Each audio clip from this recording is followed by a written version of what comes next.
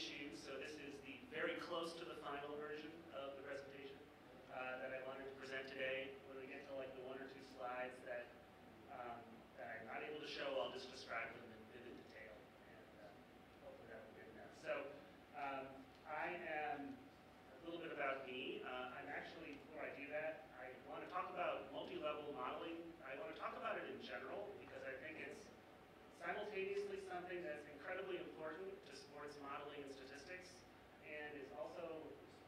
under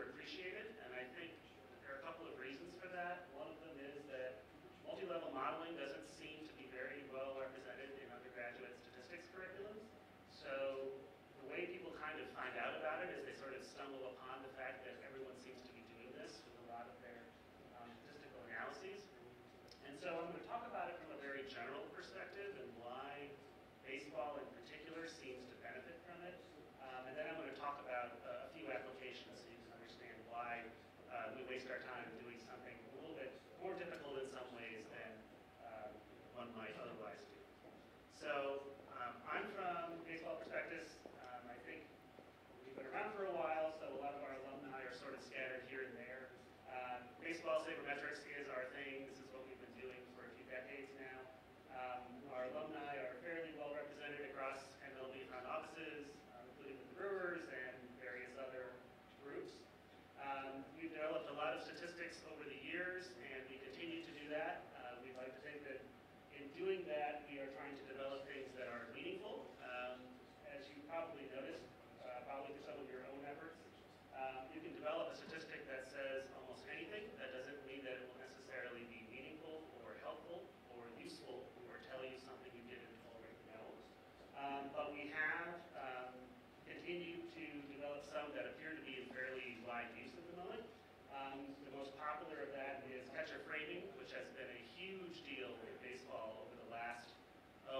necessarily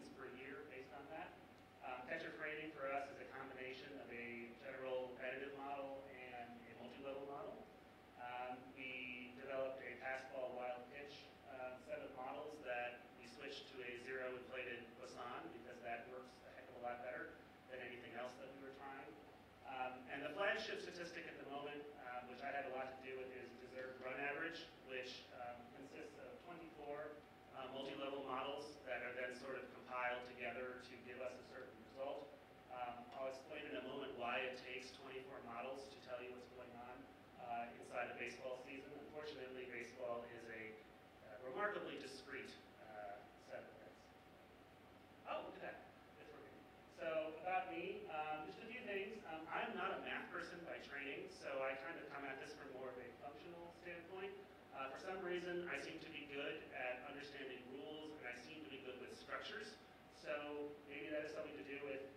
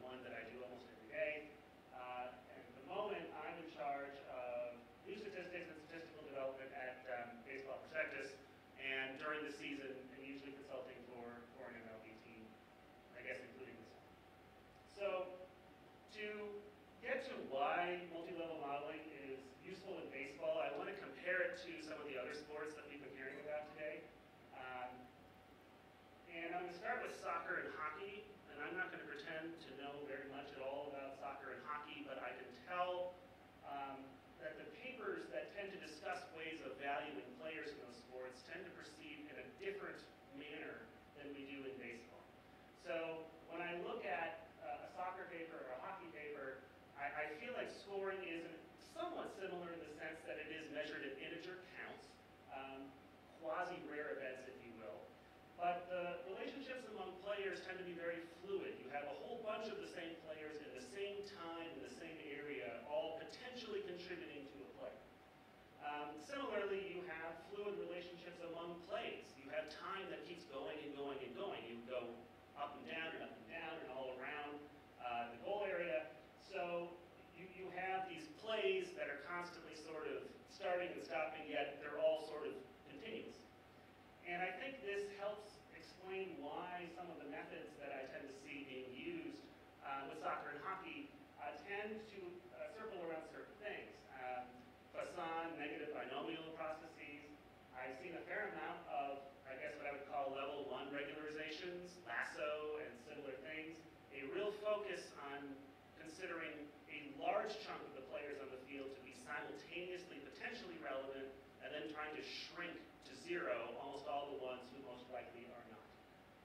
sort of end up with a lot of, I know this is very, very basic level, but things like plus minus calculations can be done at a very basic level because um, everyone is sort of in the same general area for a lot of the plays.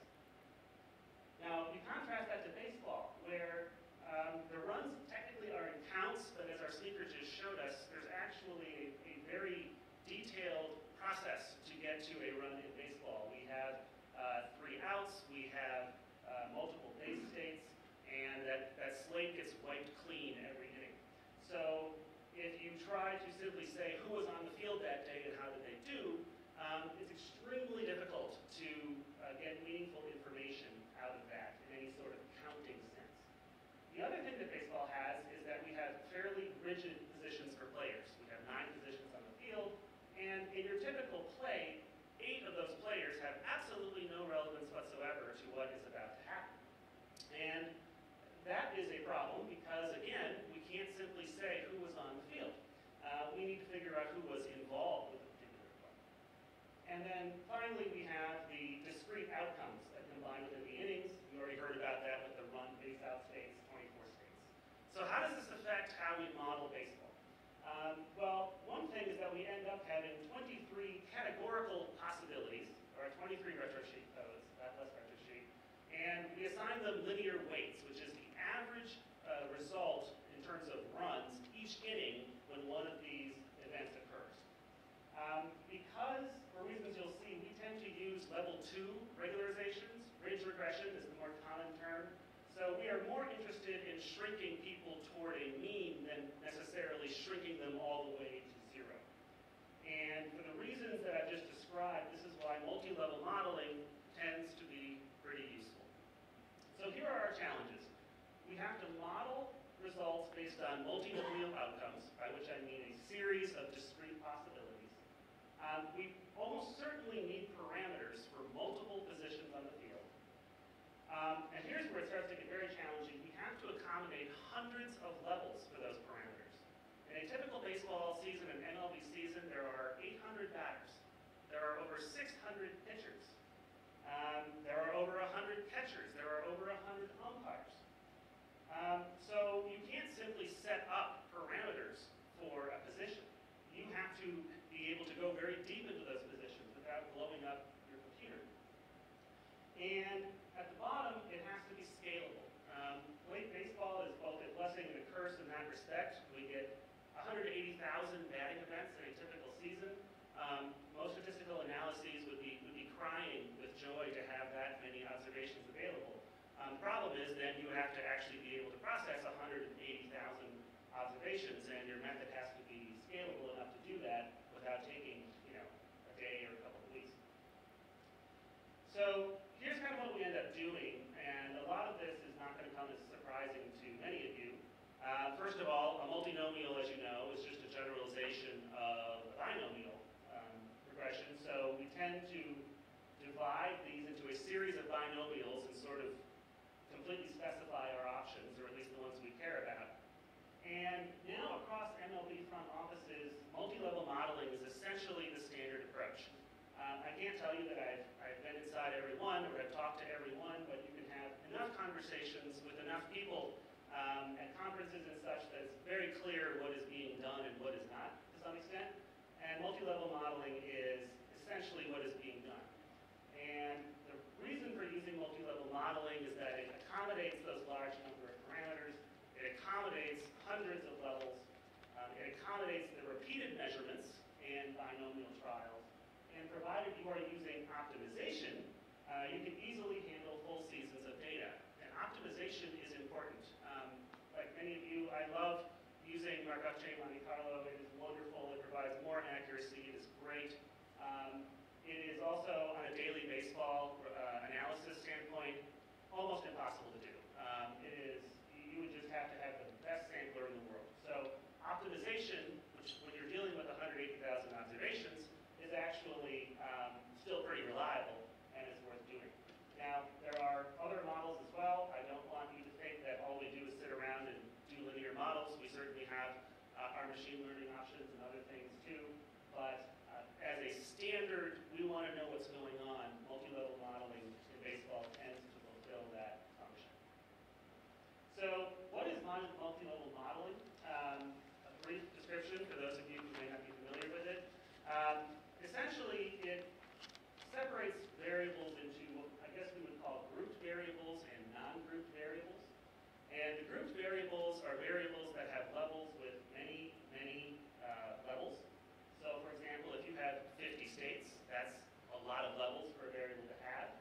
have 600 batters if you have 30 colors.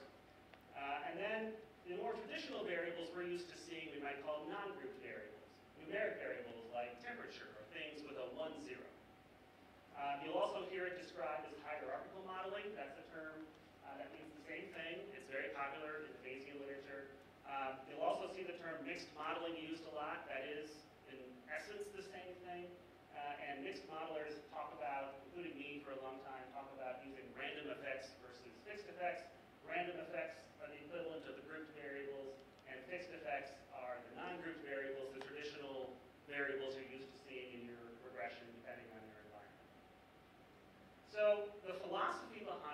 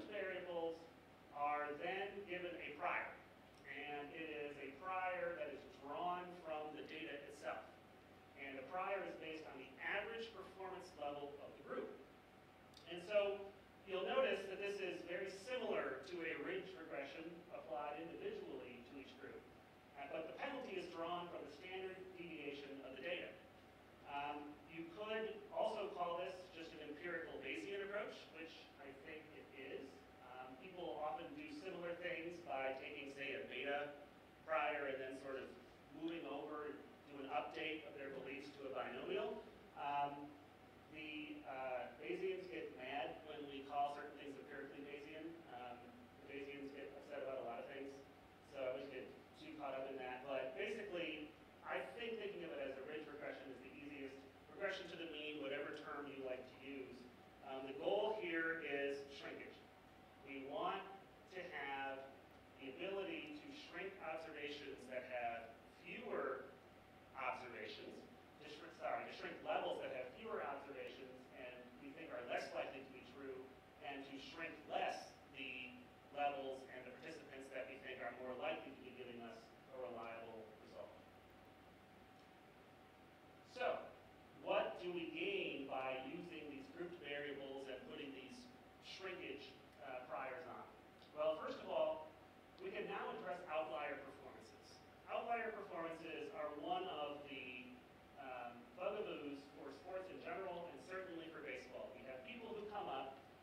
might play for a week and they're either absolutely terrible or they are absolutely great. And granted, most people are in between, but we have the outliers. And people sit there and say, okay, well now what? What are we going to do with this guy? Um, he's hitting the cover off the ball, can we really send him down? Um, or, boy, he's really struggling, but we thought he would do better, should we give up on him? And so, using shrinkage,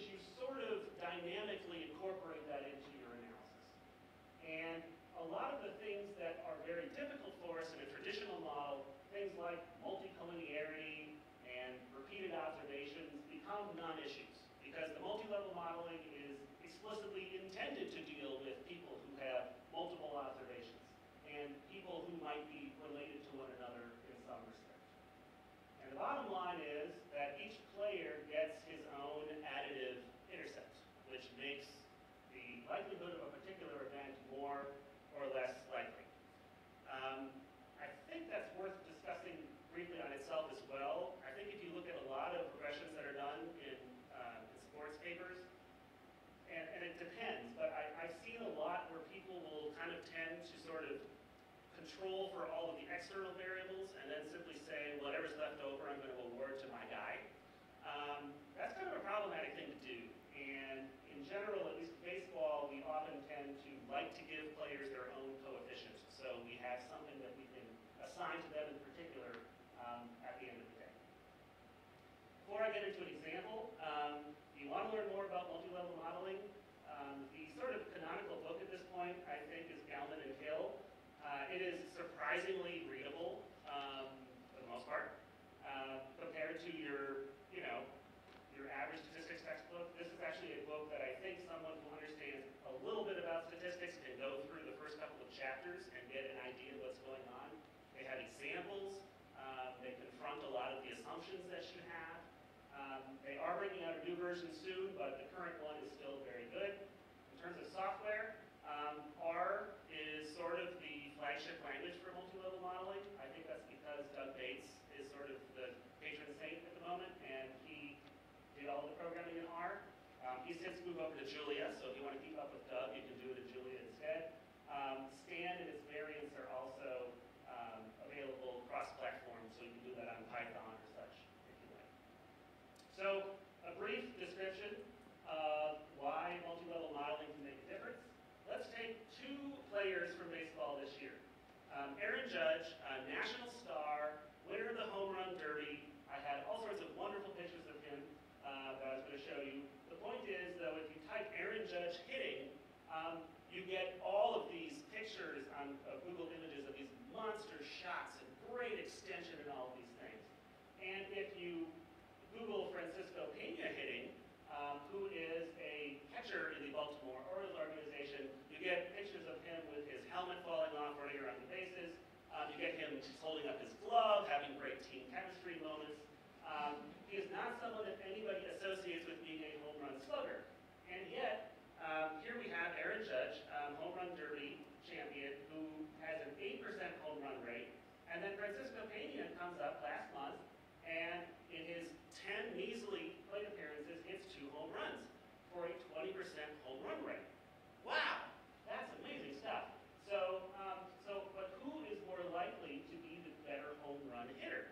Um, obviously, everyone in this audience is saying, you know, I'm a little more trustworthy of the guy who's done it 366 times than the guy who's done it 10 times. So you could make an arbitrary distinction in which you say, well, I'm just going to not pay attention to that. That's not a very scientific way to go about it. Um, multi-level modeling will help you confirm your intuition. So the competing models in the R environment would be this. We're going to account for temperature as a fixed effect, um, non-group variable because temperature matters for home runs. And then we'll have all 600 batters, we're only through the beginning of July. And then we'll do the multi-level model, which uses a similar format, but this one, whatever that thing is called, um, in parentheses tells that that we want it to be a group variable. And we'll compare the two and see how we get. I know that tables are death in presentations, I'm really sorry. Um, but visually, it got so complicated that I was not uh, that thrilled about it. So if we take the traditional, we have a home run probability, and this is exactly what you would expect. This is sort of a traditional coefficient in a linear model. 4.6%, I transformed it to a probability, so we didn't have to do it here, uh, for Aaron Judge, and 16.3% for hot-hitting Francisco. So in all of baseball, under a traditional linear model, um, Mr. Pena is the third most likely home run hitter, and the Titanic Mr. Judge um, is this is uh, out of 809 batters.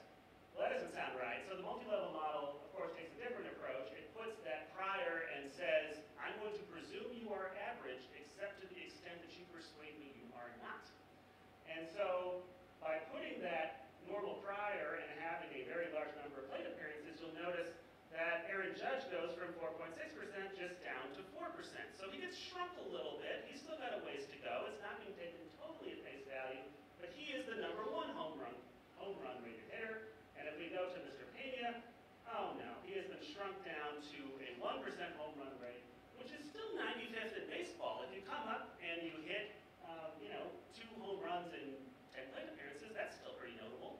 Uh, so you do get some credit for it, but the skepticism that we all naturally feel gets adjusted into the model. Um, just very briefly, the, uh, it isn't just merely confirming our intuition, it is also confirming it in our results.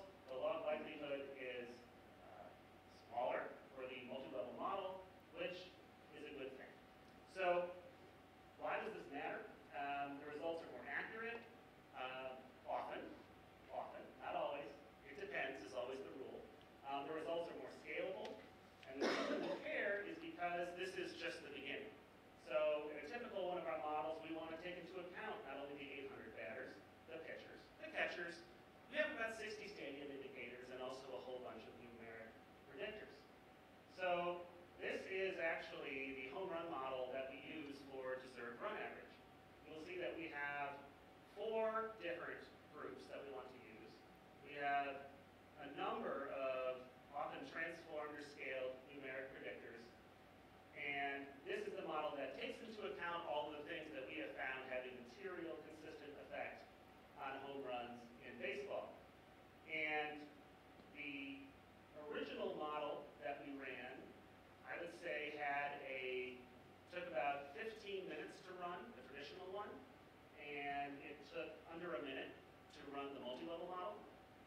one